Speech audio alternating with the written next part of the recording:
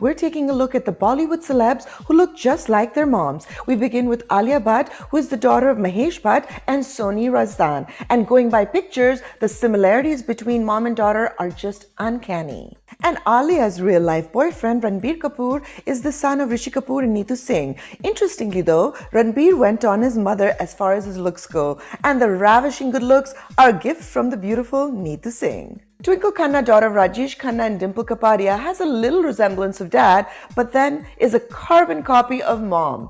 Both of them have been blessed with gorgeous hair, smile, twinkling eyes, and a very similar facial structure. Sara Ali Khan is the daughter of Saif Ali Khan and Amrita Singh. And though Sara definitely has the Pataudi nose, her eyes and smile are all mom. Similar to her mom, Sara also has a bubbly personality. Another young actress, Janhvi Kapoor, daughter of Boney Kapoor and the late Devi, is a beautiful girl, and both her and her sister Khushi are different variations of the late actress. From the thick black hair to identical smiles and almond eyes, she has a strong resemblance to her mom.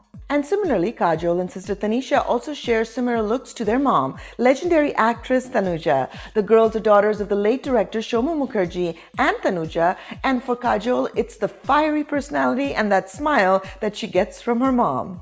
And between sisters Karisma and Kareena, it's Karisma who gets her looks from mom Babita Kapoor. Daughter of Babita and Randhir Kapoor, both sisters are beautiful, but the resemblance between Karisma and mom is just uncanny. Born to cricketer Mansoor Ali Khan Pataudi and Sharmila Tagore, both Saif Ali Khan and Soha Ali Khan resemble mom Sharmila Tagore. But it's Soha who has the stronger resemblance between the two, with a beautiful smile and glittery eyes.